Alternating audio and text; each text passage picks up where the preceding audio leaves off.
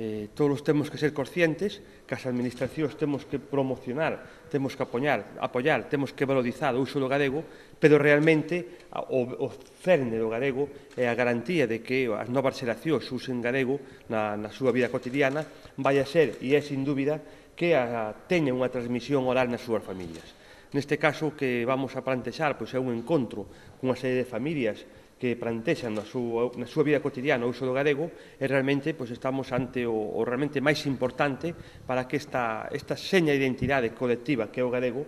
pois este en boas mans. E as boas mans neste caso son as familias e a administración axuda as mesmas a transmitir o galego como unha lingua que nos sirva a todos para comunicarnos, que é unha lingua útil e que é unha lingua con moito futuro.